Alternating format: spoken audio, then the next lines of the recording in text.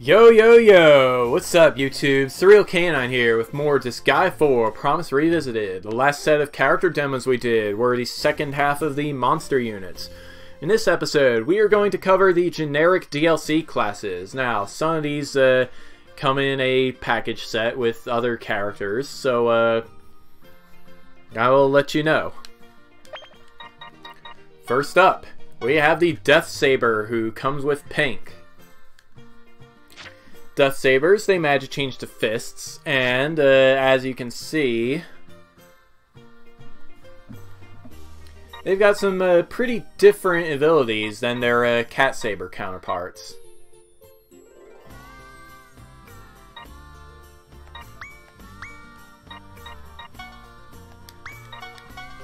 First up, Vanishing Cat uh, turns the target's back toward you when attacking while adjacent, so they always get a back attack. Meowie Land increases all their stats by 10% times the number of cat type units on the map. Cat Block decreases damage by taken by 50% if you're higher up than your attacker. And Playing Dead survives a deadly blow by going to sleep. Pretty cool. Let's take him into the battlefield and see what he can do. Go, go, kitty power. Now, I was not able to uh, determine what tiers he levels up at by just looking it up in the uh, Disgaea Wiki or GameFAQs, so uh, I don't have any information for you today. Instead, we're just going to check this out.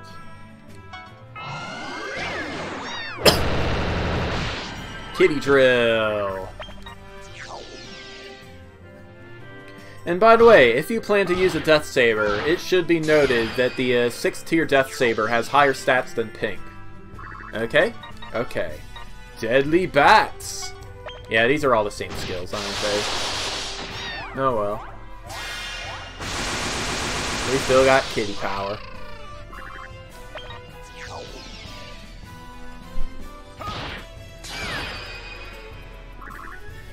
Kitty power, and we got a kitty that uh, doesn't hold back against guys who attack. Good times. Deathwing.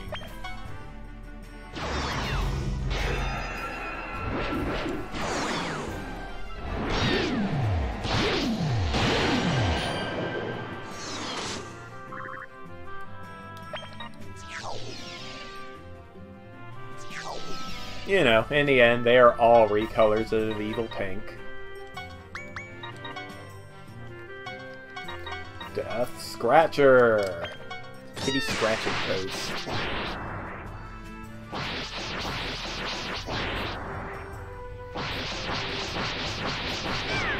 That level 1 commoner did not stand a chance.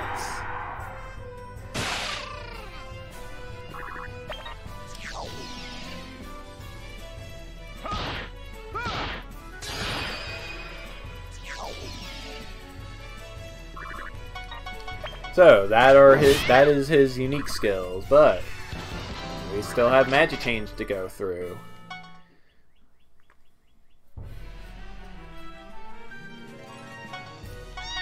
Sylvia, get on out here.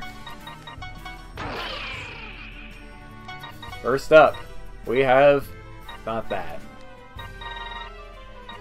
Death Paws.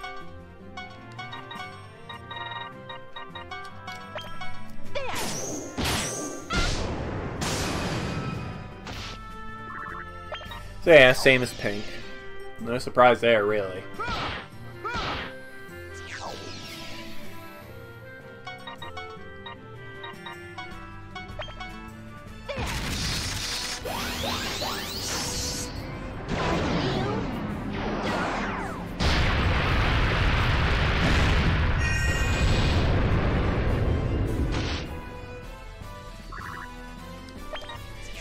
Use that one paw sprite for everything, don't they?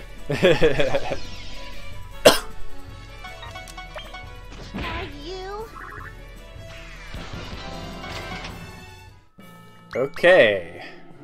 Next up, we have yet another familiar face. This is Sylvia the Medic. Medics are uh, kind of unique classes that uh, learn both sword skills and healing spells, not bows as uh, as their uh, weapon fortes might might claim. As you can see, their res and their hit are uh, higher than their attack, but I still put a sword on Sylvia, and look how strong she is. The specialty of the medic is uh, is a utility. As you can see, they they uh, whenever they are deployed, allies in the base panel recover 5% HP and SP every turn. I mean, it's free healing. What more could you want? Transportation allows you to send allies to the base panel with a special command. Medical error uh, poisons adjacent enemies at the end of the turn, and sanitation control heals adjacent allies' status ailments at the end of the turn. Pretty good stuff all around. But as far as I am concerned, their real utility is in their special skills. Let's take Sylvia into the reincarnation site and see what is up.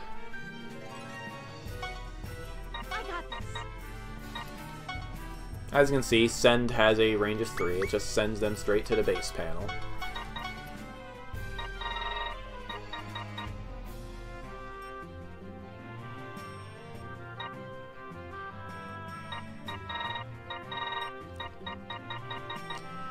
In addition to their uh, 6 sword skills and 6 healing spells, they also learn Espoir, Braveheart, and Target Lock, apparently. They probably learn the other, uh, probably learn the other spells too, actually. I should check. Anyway, Syringe Blast. Revitalize and power up with this huge syringe. Let's see what it does.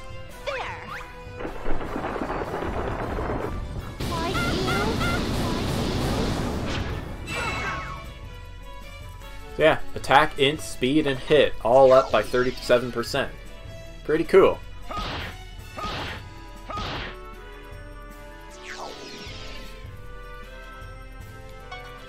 But their greatest skill is this. Let's go, cha-cha-cha. It gives the target an extra turn.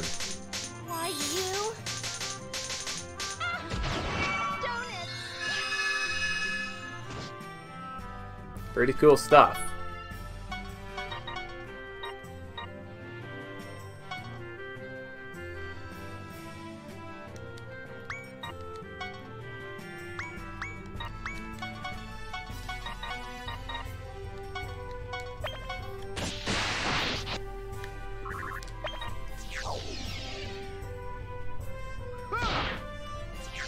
This is taking a while.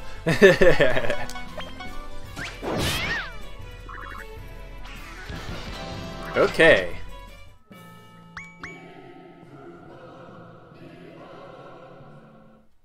Next up, we have the Necromancer. The Necromancer learns uh, the ninth tier fist skill, six tiers of gun skills plus the ninth tier, and uh, six star type spells and blind. An interesting uh, set of uh, things here. Both the Medic and the Necromancer gain class tiers at levels 30, 70, 140, 280, and 560. Mysterious girl who controls the bodies and souls of the dead. Necromancy brings back defeated enemies as zombies, and uh, use them. I don't know if that makes them neutral or allies. You can see that their uh, primary aptitude is int and SP. Undead causes them to come back as a 1 HP zombie when defeated. Dead Man's High increases their stats by 5% per zombie on the map. That could be interesting when paired up with Necromancy. Cream of Cream of Blood. Uh, units zombified by Necromancy will enjoy EXP and mana gain. Huh.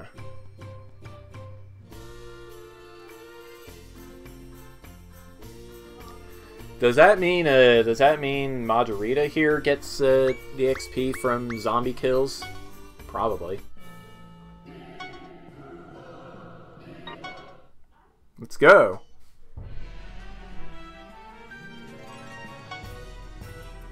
Coming.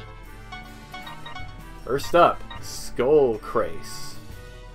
Or Christ. I don't know. Coming.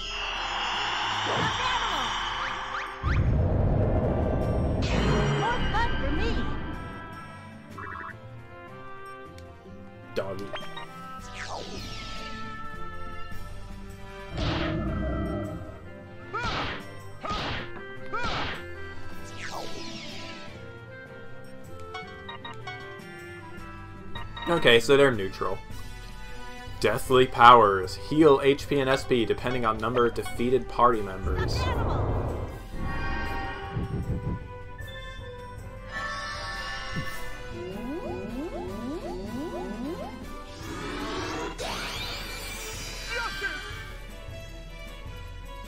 Apparently, 5% of our HP and SP per defeated party member. I I guess. got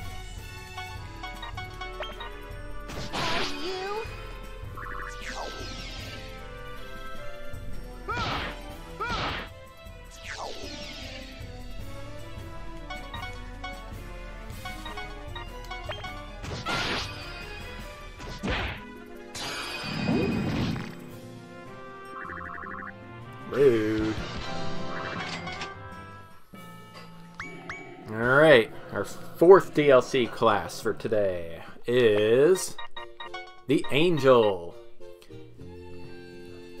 Angels uh, become available when you recruit Main Hero B. It learns six bow skills and six healing spells. As you can see, they've got very, very well-rounded aptitudes. Uh, the only one higher than any of the others is res. Angel Protection halves the non-elemental damage to adjacent allies. Angel Potion. Uh, You know what? These are exactly the same as Main Hero B, aren't they?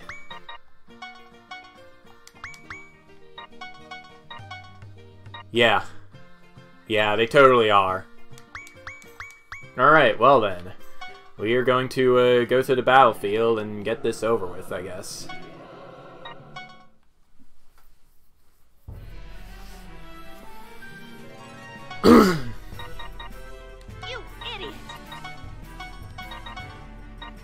Carol.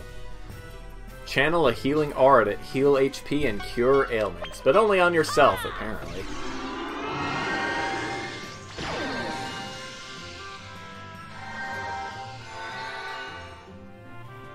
Actually, does this work on party members? That would be something to check out. See if it does.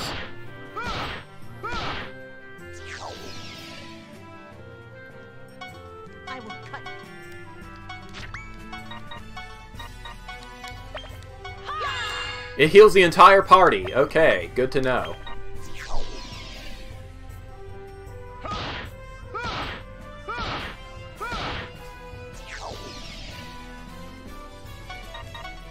Miracle of Love. In exchange for your life, revive an ally unit. Sylvia, if you would do the honors.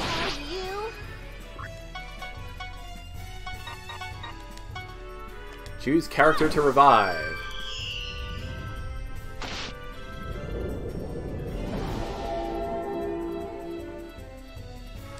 Character apparently revives in the base panel.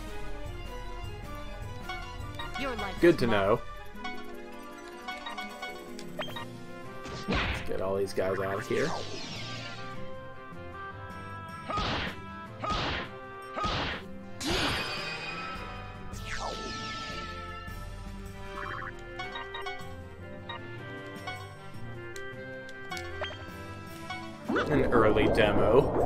the next class, the Kunoichi. Kunoichis join the party when you uh, recruit Kyoko and Asuka. And believe it or not, they are not just a uh, recolored Kyoko. They've got their own set of skills.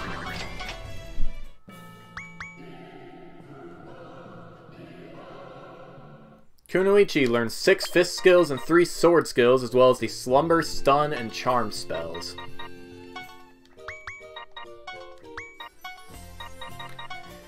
As you can see, they favor attack and speed, as well as a little bit of int, and... These are their abilities. Flame Haze uh, gives them a 50% chance to evade multi-target attacks. Consecutive Shot increases their damage by 50% if they attack more than once. Near T raises their stats by 5% every time an attack is dodged. Fall of Castle gives them a 100% critical rate when defending units are struck. Not quite sure what that means. But let's take her onto the battlefield and see what else she can do.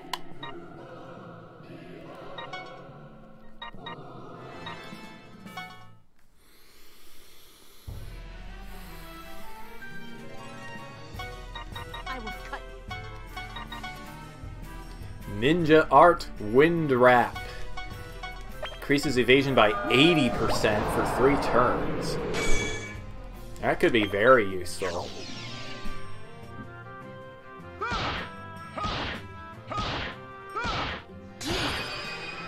Of course, my speed was so high they weren't going to hit me anyway. And, uh, just for the sake of completion, and for the sake of consistency, let's use 3-year Crush Kill again.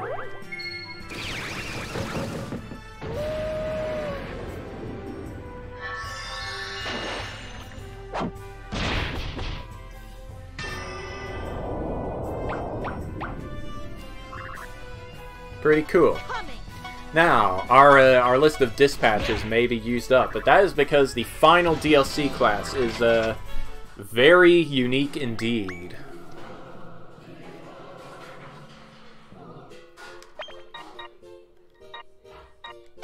Meet the Prism Rangers!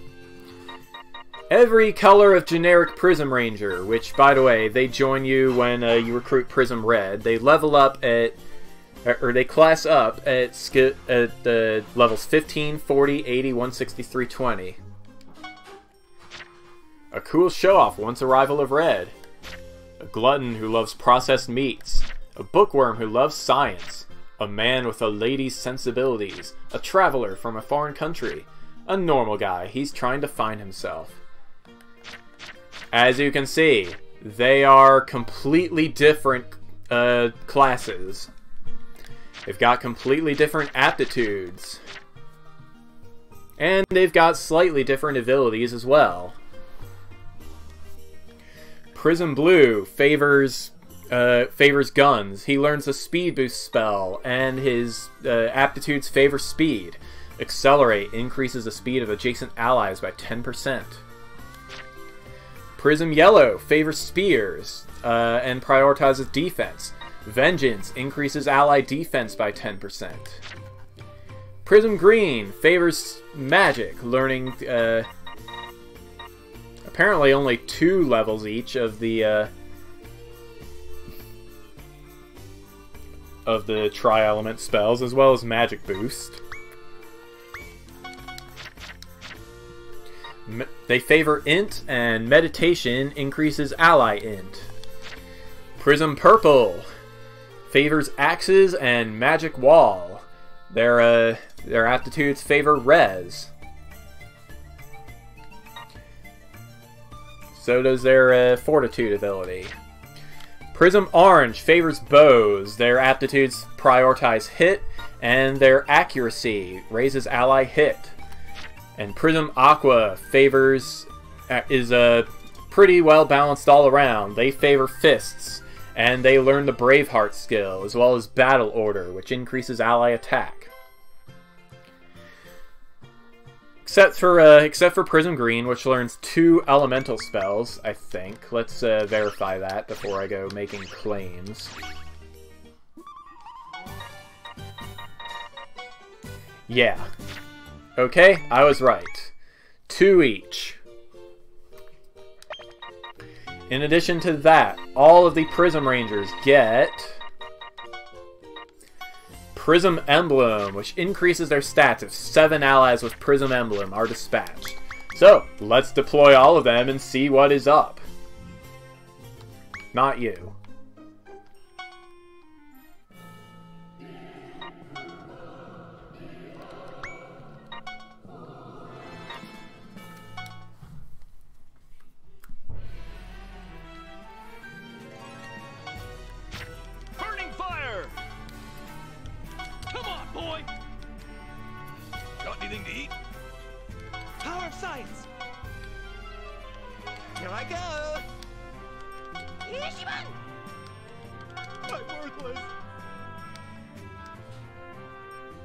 Forgot to equip their abilities. I'm an idiot, by the way.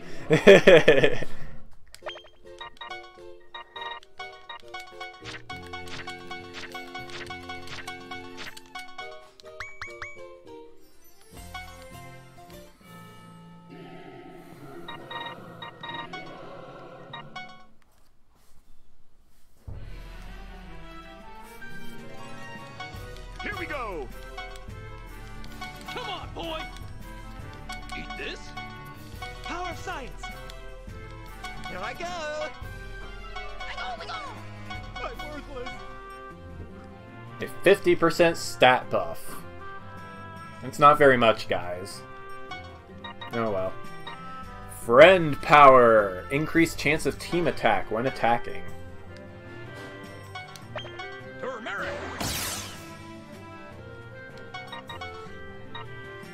Camaraderie! When attacking, a teammate will come help.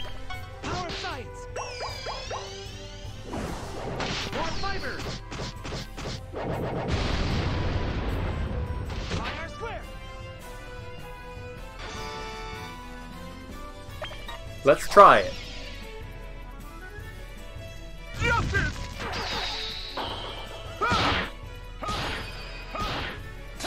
What was that?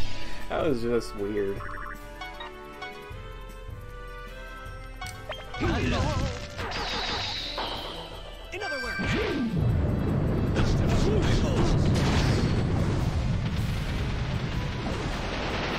Very, uh, very Kirby Star allies here. That's just a normal forward-person team attack. Still pretty cool to see,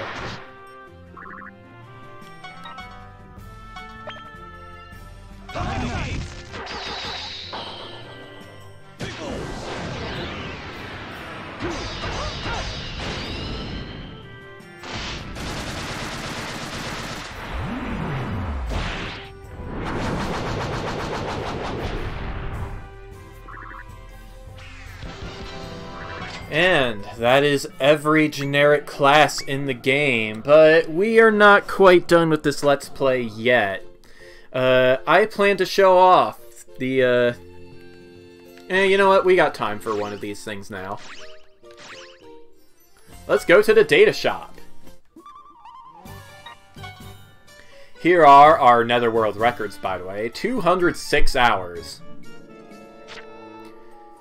Max reincarnation number 10 times.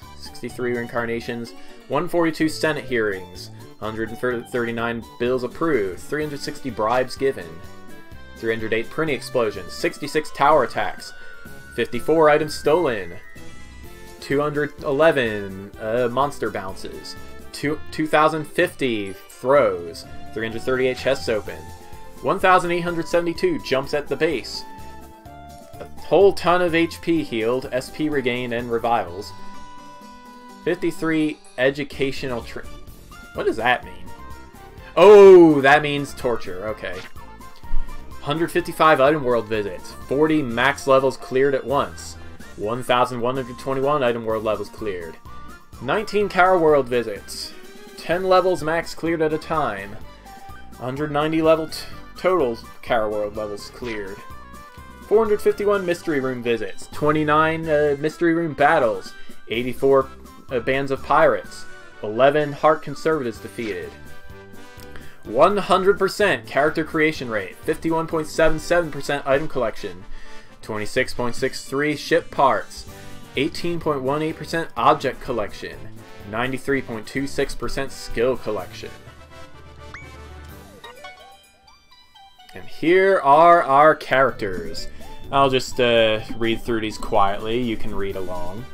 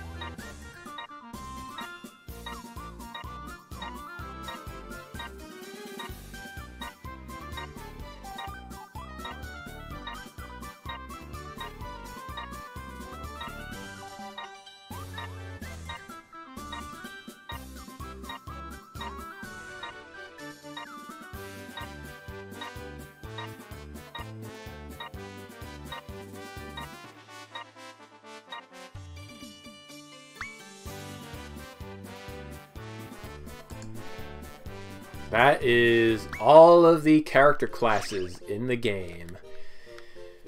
For my final video, I think I'm going to uh, show off the little skits that play every time you create a new generic character. It should be a pretty good time. I'll see you all then. Bye bye for now.